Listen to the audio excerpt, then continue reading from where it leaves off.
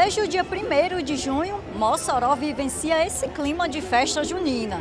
Nesta semana, o Polo Estação das Artes reuniu uma multidão de pessoas para os shows de Gustavo Lima, Jorge Mateus e Bruno e Marrone, a dupla que esteve representada apenas pelo cantor Bruno. A programação continua, viu? Hoje, na Estação das Artes, a animação fica por conta de Leonardo e de Zé Cantor, além de músicas alternativas nos dois palcos que ficam aqui no Polo Cidadela.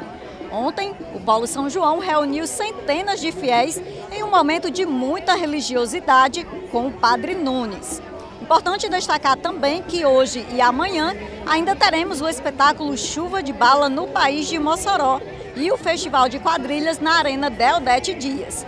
E para quem curte uma festança durante o dia, amanhã no Arraiá do Povo terá muito forró com as bandas Ferro na Boneca e Lagosta Bronzeada.